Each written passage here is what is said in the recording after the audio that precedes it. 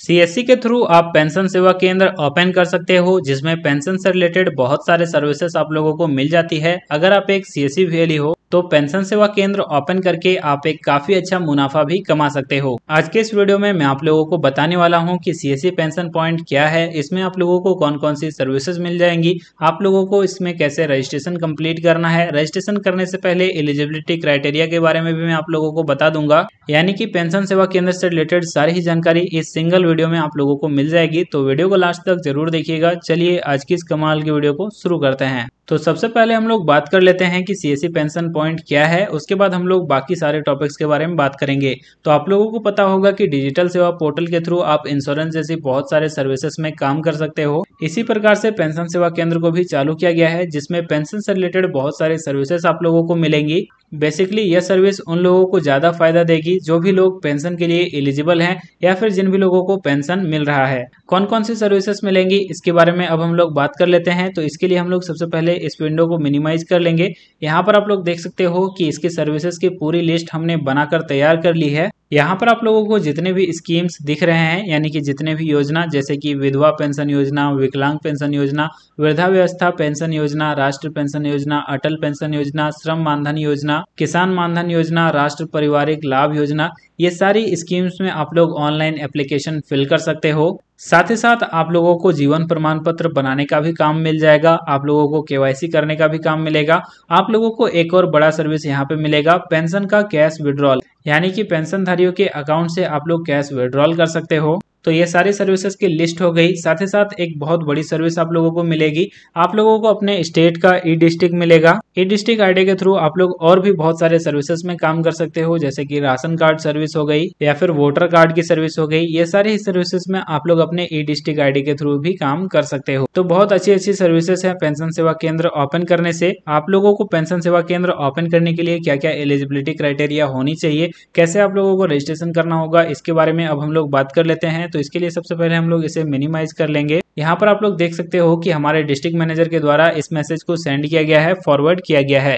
इस मैसेज में एक फ़ोटो भी अटैच किया गया है। फ़ोटो में एलिजिबिलिटी क्राइटेरिया दी गई है, लेकिन कुछ टेक्स्ट को भी यहाँ पर टाइप किया गया है। इससे पहले मैं आप लोगों को पढ़ के बता देता हूँ। प्रिय वीएलई बंधु आप लोगों को सूचित किया जाता है कि अगर आप पेंशन पॉइंट के लिए इंटरेस्टेड हैं तो नीचे दिए गए लिंक पर अपना डिटेल्स फिल करें। आपके पास माइक्रो एटीएम होना ज़रूरी है। जिनके पास भी माइक्रो एटीएम नहीं है तो वो आज ही ऑर्डर कर सकते हैं और नीचे माइक्रो एटीएम ऑर्डर करने का लिंक भी दिया गया है। तो बेसिकली इस मैसेज में बताया गया है कि सीएससी पेंशन पॉइंट के लिए रजिस्ट्रेशन चालू हो चुका है। आप लोग अपना रजिस्ट्रेशन कर सकते हो, लेकिन इसके लिए क्या क्या एलिजिबिलिटी क्राइटेरिया है, उसका डिटेल्स भी सेंड किया गया है, वो मैं आप लोगों को बता देता हूँ।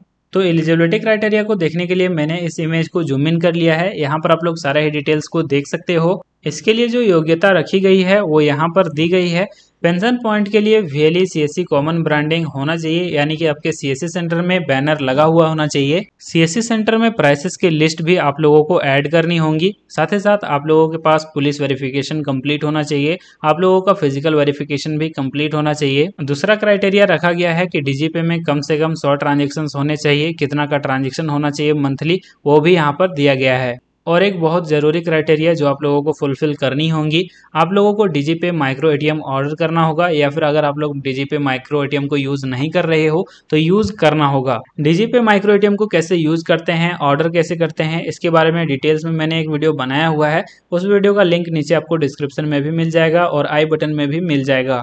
और सर्विसेज़ के बारे में जैसे कि मैंने आप लोगों को बताया, वही चीज़ यहाँ पर भी लिखी गई है कि अगर आप लोग सीएससी पेंशन पॉइंट को ओपन कर लेते हो तो आप लोगों को झार सेवा की आईडी और पेंशन की सर्विस भी दी जाएगी। पेंशन की सर्विस की कंप्लीट लिस्ट मैंने आप लोगों को बता दिया। लेकिन आप लोगों को शायद पता नहीं होगा झार सेवा आईडी क्या है। झार सेवा आईडी को ही ई डिस्ट्रिक्ट आईडी कहा जाता है झारखंड में।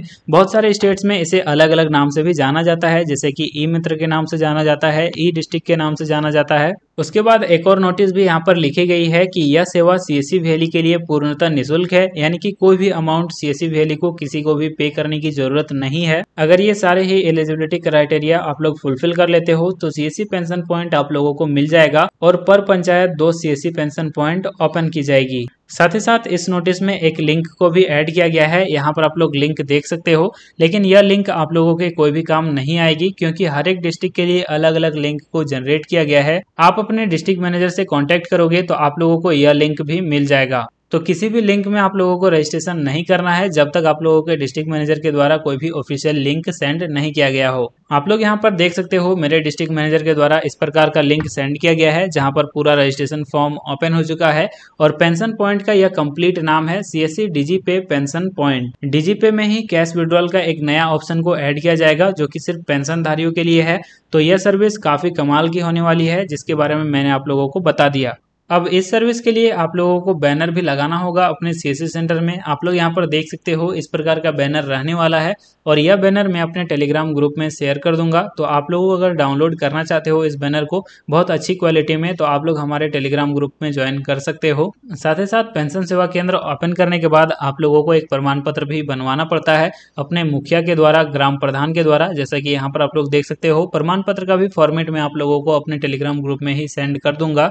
तो अभी तक अगर आप लोगों ने टेलीग्राम ग्रुप ज्वाइन नहीं किया है तो टेलीग्राम ग्रुप को ज़रूर ज्वाइन हो जाइएगा। कौन कौन से स्टेट्स में इस सर्विस को लाइव किया गया है, इसके बारे में अब हम लोग बात कर लेते हैं। तो बेसिकली यहाँ पर उत्तर प्रदेश, बिहार, झारखंड, ये तीनों ही स्टेट्स में इस सर्विस को लाइव किया गया है। तीनों ही स्टेट्स में इसका रजिस्ट्रेशन भी स्टार्ट हो चुका है। अगर आप किसी अदर स्टेट से बिलोंग करते हो तो आप अपने डिस्ट्रिक्ट मैनेजर को कांटेक्ट कर सकते हो। इस सर्विस के बारे में सारी ही डिटेल्स आप लोगों को मिल जाएगी। साथ ही साथ, अगर आप लोगों के स्टेट में इस सर्विस को लाइव किया गया है तो आप लोगों को रजिस्ट्रेशन का लिंक भी वही प्रोवाइड कर देंगे। तो इस वीडियो में मैंने आप लोगों को बताया कि पेंशन सेवा केंद्र सीएससी के थ्रू कैसे आप ओपन कर सकते हो, पेंशन सेवा केंद्र में कौन कौन सी सर्विसेज़ मिलती है। आशा करता हूँ कि यह वीडियो आप लोगों को काफ़ी हेल्पफुल लगी होगी। वीडियो अच्छा लगा होगा तो वीडियो को लाइक कर दीजिएगा। चैनल को सब्सक्राइब ज़रूर करिएगा। मैं मिलता हूँ आपसे ऐसे नए अगले वीडियो में। तब तक के लिए टाटा एंड गुड बाय दोस्तों।